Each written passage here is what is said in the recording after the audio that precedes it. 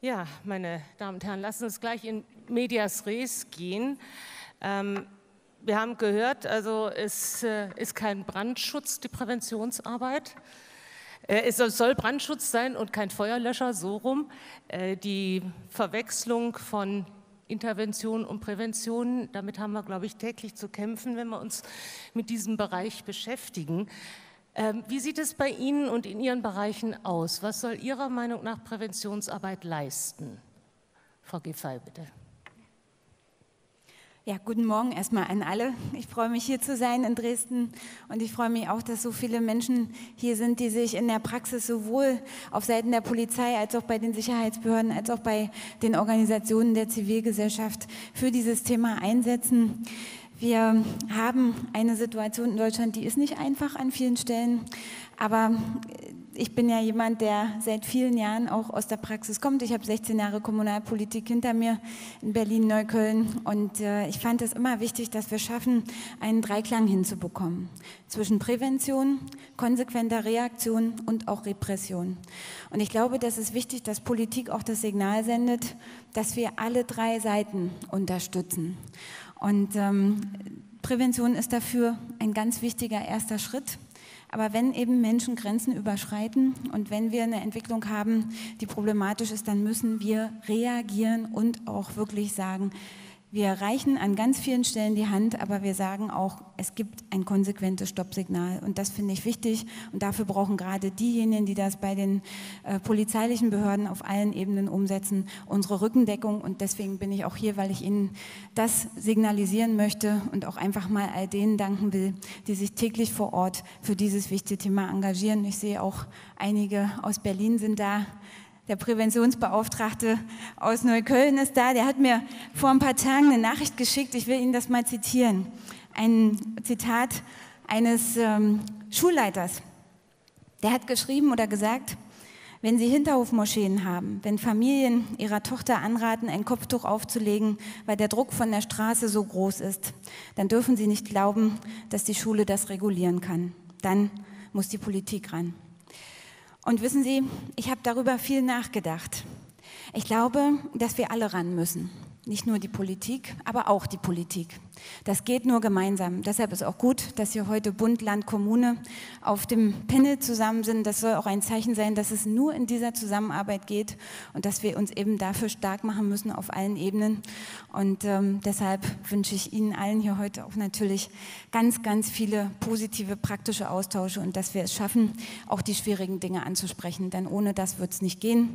Und Sicherheit ist ein Thema, was ganz entscheidend ist, auch für Integration und für die Frage, wie wir eigentlich unser Land gestalten wollen. Dafür müssen wir sorgen und dafür setze ich auch ich mich ein. Dann, dann nickt, dann nickt der Herr Ministerpräsident. Wir hatten hier in Sachsen die Diskussion nicht um die Polizeistellen, die abgebaut worden sind und jetzt wieder aufgebaut werden müssen. Äh, aber das ist ja nun nicht alles, was in Sachsen an Präventionsarbeit äh, passiert. Hier passiert ja nicht nur repressive, äh, sogenannte repressive Präventionsarbeit, sondern eben auch ganz viel aktiver aus der äh, Bürgergesellschaft heraus. Was ist für Sie eine gute Präventionsarbeit?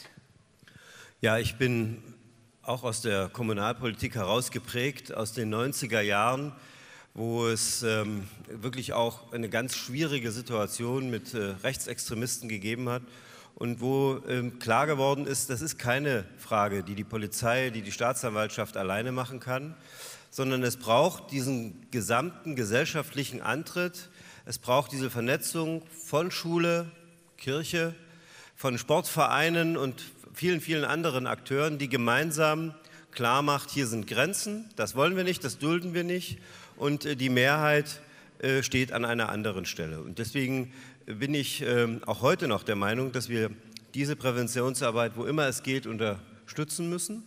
Ich höre auch von den Polizisten immer wieder genau diesen Satz, der ja auch bei Ihnen mit durchgeklungen ist. Man kann dieses Thema nicht alleine der Polizei überlassen, sondern das muss etwas sein, was äh, aus der Gesellschaft, aus der Mitte der Gesellschaft herauskommt.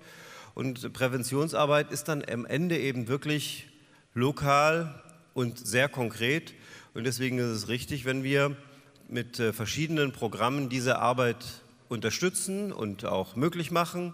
Ich freue mich sehr, dass es Ihnen gelungen ist, das Programm Demokratie leben äh, fortzuführen und äh, zu unterstützen. Es ist ein ganz wichtiges Programm. Wir profitieren im Freistaat Sachsen sehr davon und machen mit eigenen Programmen Weltoffenes Sachsen und vielen anderen Programmen eben ähnlich, in ähnlicher Weise mit, weil wir eben erkannt haben, dass wir das nur gemeinsam können. Und äh, natürlich wird die Polizei aufgestockt. Überall in Deutschland hat man äh, vor zehn Jahren war man der Meinung, dass man da nicht mehr so viel Aufwuchs braucht, dass es äh, anders werden wird. Und deswegen ist es richtig, dass wir hier in Sachsen, aber auch im Bund, in den anderen Bundesländern reagieren, dass wir die Staatsanwaltschaften stärken. Ich habe ja dieses Konzept auch der äh, Jugendgerichtshilfe und der Häuser, äh, Häuser der Jugendgerichtshilfe mit Sebastian Gemko äh, gemeinsam auch auf den Plan gerufen. Dresden hat ein eigenes Konzept. Es geht auch mir nicht darum, jetzt nur einen Weg zu formulieren oder ein, Weg, ein Modell zu haben. Ich möchte gern dieses Prinzip, dass diejenigen, die vor allen Dingen als Jugendliche mit dem Gesetz in Konflikt kommen, schnell und konsequent äh, eine Strafe spüren, eine Konsequenz spüren, damit sie lernen, dass das nicht so geht, dass das so nicht funktioniert, sondern dass, man, dass es Grenzen gibt in einer Gesellschaft, die man einhalten muss. Das Thema des Präventionstages ist Gewalt und Radikalisierung. Äh, Kriminalprävention an sich findet viel statt. Auch wir haben, Herr Sittel, in Dresden einen kriminalpräventiven Rat, dem Sie vorstehen seit 96, wenn ich richtig informiert bin. Aber wir haben ja nun in Dresden, anderswo auch, aber in Dresden ganz besonders, ja auch andere Probleme.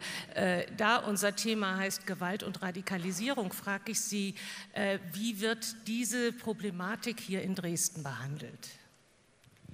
Ja, es ist richtig, dass wir seit 1996 den Kriminalpräventiven Rat hier haben und über die Jahre gab es immer verschiedene Schwerpunkte, die eine Rolle spielten. Während in den ersten Jahren es vor allen Dingen eher um die klassische Gewaltprävention äh, ging, beziehungsweise zunächst den Begriff Prävention, Kriminalprävention zu entwickeln, ist gerade in den letzten Jahren das Thema Extremismusprävention natürlich ein Stück weit in den Vordergrund äh, gegangen, das jetzt nicht vorrangig in der klassischen Kriminalprävention eine Rolle spielt. Und wo wir natürlich auch erkannt haben, dass es einen ganz zentralen Schlüssel äh, gibt, der eigentlich noch vor jeder Präventionsarbeit bzw. als gesellschaftliche Basisarbeit besteht. Das heißt, dass wir das Thema Bildung als das zentrale Thema der Stadtpolitik äh, gemacht äh, haben. Durch unsere frühere Oberbürgermeisterin insbesondere das Thema frühkindliche Bildung äh, aufgegriffen haben, eben über die reine Betreuung hinaus in den Kindertageseinrichtungen zu beginnen aber eben auch Schulen in die Lage zu versetzen, dies übergreifend äh, deutlich zu machen. In dem Moment, wo sowohl aus der Familie wo die Kernerziehung eigentlich nach wie vor stattfinden soll und aus der Kita- und Schullandschaft äh, es äh, Defizite gibt, ist eben Bedarf an übergreifenden Präventionsarbeiten.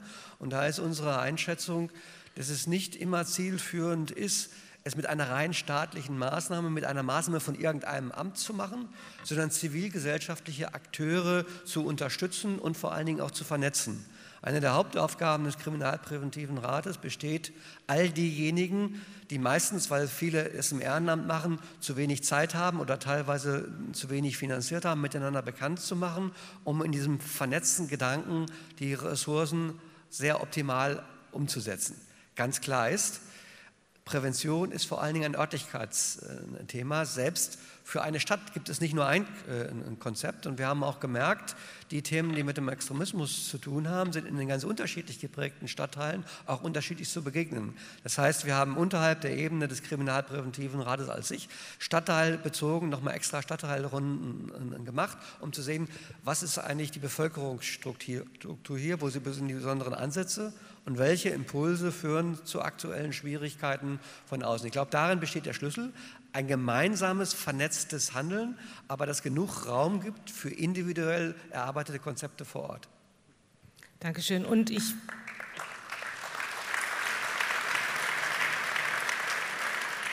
darf vielleicht ergänzen, Sie haben ein Programm, wir entfalten Demokratie. Äh, für das die Stadt äh, in den Jahren 2017, 2018 eine Million Euro zur Verfügung stellt. Äh, das ist das, was institutionell hier auf Dresdner Ebene geschieht. Ich könnte natürlich jetzt, weil Herr Marx auch von dem Dreiklang sprach, an Sie beide die Frage richten, Ähm, wie, wie, wie, sieht das eigentlich aus? Bei Ihnen die, ist die Präventionsarbeit verteilt auf mehrere Geschäftsbereiche. Äh, hat sich das bewährt? Ich will jetzt nur Ja, Nein hören, weil viel wichtiger ist mir die weitergehende Frage, was ist mit der Forschung? Ähm, ich höre viel von Leuten, die sich mit Präventionsarbeit beschäftigen. Wir brauchen evaluierte Programme. Wir brauchen eine definierte Struktur, äh, dass das Nebeneinander äh, mal aufhört, ein bisschen, ein bisschen ein Zug reinkommt und wir vergleichbare Daten haben, auf denen wir, mit denen wir arbeiten können. Äh, Gibt es dafür eigentlich Geld? Ja, also ich würde gerne einfach mal sagen, wofür es Geld gibt. Ähm, viele von Ihnen kennen vielleicht ähm, der Ministerpräsident hat das schon erwähnt, äh, das Programm Demokratie Leben des Bundes. Und dieses Programm, da müssen, können wir sagen, das, was wir an Evaluierung, an Begleitung, an Monitoring, an Rückmeldung von der lokalen Ebene bekommen, ist sehr positiv. Es funktioniert. Wir haben mit diesem Programm im Jahr ungefähr 600 Projekte und über 3000 Einzelaktionen, die gefördert werden, zivilgesellschaftliche Organisationen, die sich für Demokratieförderung in ganz Deutschland einsetzen.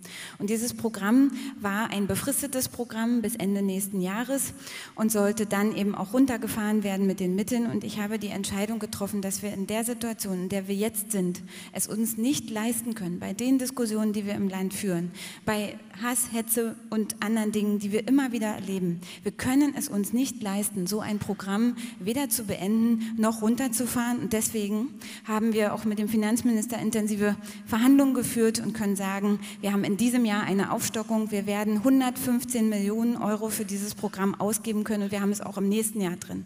Und da sind die 16 Demokratieförderzentren ähm, in Deutschland, in allen Bundesländern dabei, wo gerade auch es um die Opfer von Radikalisierung geht, um Ausstiegsberatung und so weiter. Wir haben über 200 lokale Partnerschaften für Demokratie 18 davon übrigens in Sachsen.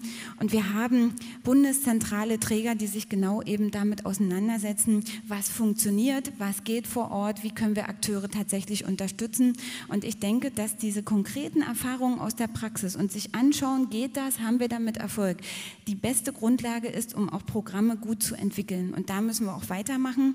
Und gerade was die Extremismusprävention angeht, auch an Schulen schauen wir gerade, wie wir das verbessern können. Es gibt das Programm Islamismusprävention an Schulen und wir werden damit in diesem Jahr anfangen, sogenannte Anti-Mobbing-Profis zu finanzieren von Seiten des Bundes. Das ist Jugendsozialarbeit an Schulen, die genau darum geht, auch interreligiöse ähm, Konflikte äh, aus ja, anzugehen und ein Stück weit im Rahmen von Leuten, die zusätzlich an die Schulen gehen, als Respektcoach sozusagen Menschen dazu zu bringen, in Schule diese Themen auch anzugehen. Und wir haben in allen deutschen Schulen das Thema Mobbing und da fängt es ja an. Es fängt immer damit an, wie kommen eigentlich junge Leute in eine Situation, bei der sie unzufrieden sind, bei dem sie anfangen, anderen die Schuld zu geben, bei der sie selber keinen Erfolg haben und wer Frust hat, weil er in der Schule nicht gut ist, der sucht andere Wege, um sich auszudrücken. Und da müssen wir ran. Ich sehe das ganz genauso. Es fängt letztendlich bei einer guten frühkindlichen Bildung an, bei der Frage, starten Kinder in Klasse 1 mit massiven Sprachstörungen und Entwicklungsverzögerungen und das zieht sich dann fort? Oder verhindern wir das durch eine gute frühkindliche Bildung, durch Ganztagsbetreuung?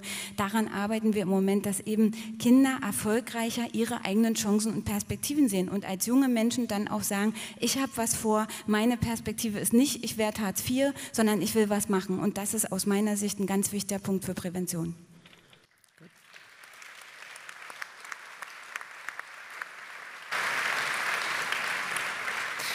Die Frage zielte auch auf die wissenschaftliche Auswertung auf allen Ebenen von Programmen, damit auf die äh, Wahrnehmung von Seriosität der Programme, damit als Argument zu benutzen, um vielleicht auch den einen oder anderen, dessen Taschen noch zugeknöpft sind, davon zu überzeugen, dass ständige Präventionsarbeit auch immer Geld kostet und vielleicht auch tatsächlich eine Präventionspolitik nach sich ziehen muss. Herr Ministerpräsident, können ja, Sie da zustimmen? Bin, bin, ja, ich bin auch der Meinung, dass es äh, durchaus mehr wissenschaftliche Begleitung geben sollte und dass uns das dann am Ende hilft, weil man dann auch nochmal zusätzliche Belege hat. Und trotzdem weiß jeder, der in diesem Bereich engagiert ist, dass ähm, ohne diese Programme und ohne diese Unterstützung vieles gar nicht möglich äh, wäre. Und ähm, wir haben gerade angesprochen, Schulsozialarbeit oder überhaupt Sozialarbeit. Wir haben auch äh, diese Erkenntnis, dass wir da noch weiter investieren müssen, dass es eben natürlich schon die Schule ist als Diskursraum, als, als gesellschaftlicher Raum, wo alles verhandelt wird. Und deswegen wird es jetzt hier ab kommendem Schuljahr so sein, dass an allen Oberschulen, also an allen Real- und Hauptschulen im Freistaat Sachsen, ein Schulsozialarbeiter tätig ist. Wenn wir mehr Kraft haben und auch das Personal haben, können wir dann auch darüber sprechen, noch andere Schulen mit einzubeziehen. Aber es ist uns auch ein ganz wichtiges Anliegen, dass wir diese, diese Kreise durchbrechen im sozialen Bereich, dass aus einer Sozialhilfekarriere wieder eine neue auswächst, aber eben auch diese Wertvorstellungen, die ja von den Eltern ebenfalls übertragen werden, seien sie äh, in welcher Form auch immer des Extremismus, dass man dem etwas entgegensetzt. Und dann ist natürlich diese Schule ein wichtiger Ort, aber alleine geht es dann auch wieder nicht. Es funktioniert nur dann richtig gut und ist erfolgreich, wenn wir dann die Kooperation haben mit den Gemeinden, mit den Sportvereinen, mit den Kirchen, mit der Polizei. Und äh, deswegen ist das eine, eine wichtige Investition jetzt und kostet auch sehr viel Geld, aber es ist uns wert und ich glaube, es sollte in Deutschland zum Standard werden, dass Schulsozialarbeit äh, vorhanden ist, das ist eine Weiterentwicklung, eine logische Weiterentwicklung unseres Bildungssystems. Herr Sittel.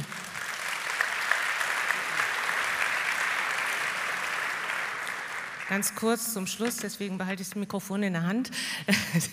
Wir müssen leider zum Ende kommen. Was ist denn für Sie noch so ein, so ein bisschen der weiße Fleck hier in Dresden? Den weißen Fleck sehe ich im eigentlichen Punkt nicht, aber eine stärkere äh, Erkenntnis, dass äh, es ein zentrales Moment gibt der Verantwortung, dass nämlich die Verantwortung für die Geschicke einer Stadt nicht in einer Stadtverwaltung beim Oberbürgermeister und schon gar nicht beim Land liegen, sondern die Verantwortung in einer Stadt haben die Bürger selber. Das heißt, der Schlüssel ist, jeder muss begreifen, dass Präventionsarbeit eine Aufgabe ist, die jeder auch hat, auch wenn sie nicht so leicht äh, messbar ist an der Stelle. Und verbunden mit diesem Prinzip der Verantwortung steht auch ein Stück Vertrauen. Weil neben allen allgemeinen Karrieren, die in Straffälligkeit und so geht, ist ja sehr viel gerade aus der Extremismusdiskussion Vertrauen in das Funktionieren von Staat und Stadt. Und insofern müssen wir da stärker auch eintreten. Und ich sage das auch ganz selbstkritisch für manche politische äh, Diskussionen, vielleicht nicht immer nur das Trennende so in den Vordergrund zu stellen, sondern dem Bürger auch zu sagen, hey, wir streiten uns zwar, das ist auch unsere Aufgabe, aber wir arbeiten an der gemeinsamen Sache.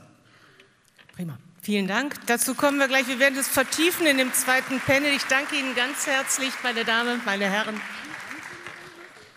Eine Ankündigung noch möchte die Ministerin machen. Ja, meine Damen und Herren, es ist aber abgesprochen mit Herrn Marx. Ja?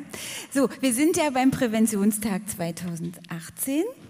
Aber es gibt ja auch noch den Präventionstag 2019 und da würde ich gerne die Ankündigung machen, dass wir uns, wenn Sie dann hier äh, ja, angespornt und mit vielen neuen Impulsen äh, diesen Tag verlassen, dass Sie dann sich schon freuen können auf das nächste Jahr, denn der 24. Deutsche Präventionstag wird in Berlin stattfinden. Und äh, ich kann Ihnen sagen, wir haben uns entschieden, dass das Bundesfamilienministerium gastgebender Veranstaltungspartner ist und damit über 3000 Gäste auch mit dem Budget des Bundesministeriums im S3 Hotel in Berlin willkommen heißen wird. Insofern können Sie sich schon freuen.